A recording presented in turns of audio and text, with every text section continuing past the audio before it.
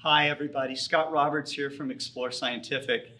A lot of people getting started in, in astronomy will buy a smaller telescope, and then almost everybody wants to try making an image through, through their telescope.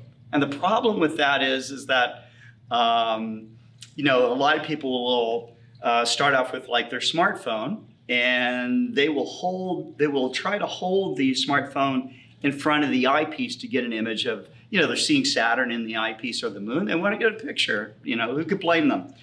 But um, the problem is, is if you're holding the camera, you've got a lot of movement going on.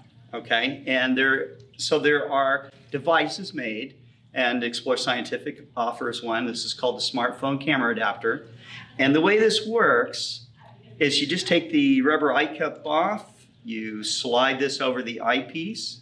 There's a little set screw here there are suction cups here, and what you do is you match the lens over the center of the eyepiece. Okay, so you got your smartphone all set up, and you want to you want to get the lens centered right over the eyepiece itself. So the Explore Scientific smartphone camera adapter is nice because it just has suction cups here. It's going to really precisely hold it. Hand holding it is really difficult to do. This makes it easy. And then, and then what you're able to do is kind of move that around and then you focus it up so you're starting to see some detail. And you always want to, you know, when you're learning how to do this, start on the in the daytime. You know, focus on something that's that's uh, across the street or something like that, so you can get the feel of this. And then a lot of the cameras have, like, if you press and hold, for example, you'll get an autofocus uh, AE lock. Okay, that's on smartphones, for example. And now you don't have to worry about focus anymore. And you're just worried about centering it up. And then you can start to make your, you can shoot a video if you want. You see how I'm zooming in there? Okay. And we can shoot a video. Or you can shoot stills if you like.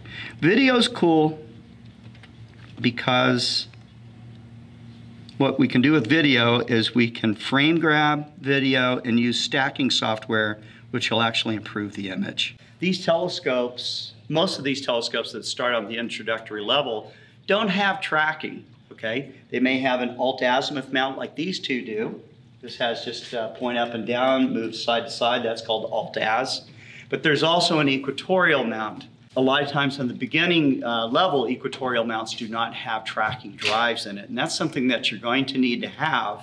So a lot of our telescopes that we offer come off these mounts pretty easily. And then they can fit on